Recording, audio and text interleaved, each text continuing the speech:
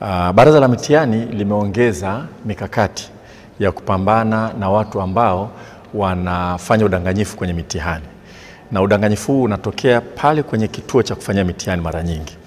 E, na tumeweza kunasa uh, shule mbalimbali ambapo wasimamizi pamoja na walimu wa pale wameshirikiana kwa namna moja ama nyingine kufanya udanganyifu katika mitihani, na matokeo yake kuna wanafunzi ambao matokeo yao hayajatolewa. Hilo litatolewa maelezo na Baraza la Mitihani karibuni tu kwamba hatua gani zitachukuliwa kwa wale, lakini kuna watumishi wa serikali na wa sekta binafsi wamehusika katika udanganyifu wa elimu. Sasa nisisitize kwamba kuna kauli inasema ukitaka kuua taifa ua elimu, haribu elimu ya nchi ile.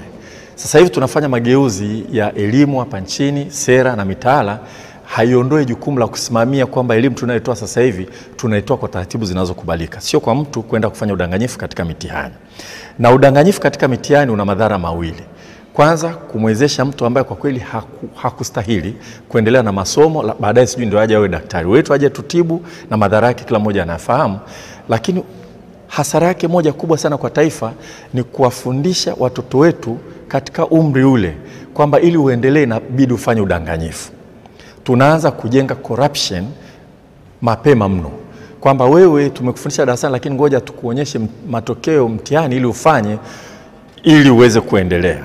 Sasa serikali haitakubali kitu kama hicho.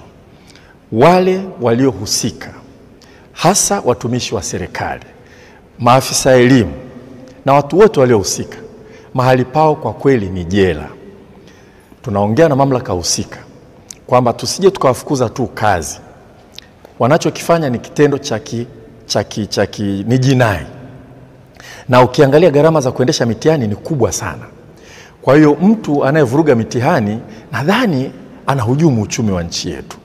Kwa hiyo tunaendelea kuongea na mamlaka kwamba watu hawa tusiwachukulie tu hatua kwa kuwafukuza kazi au kuwasimamisha kazi, washtakiwe mahakamani, wahukumiwe na waende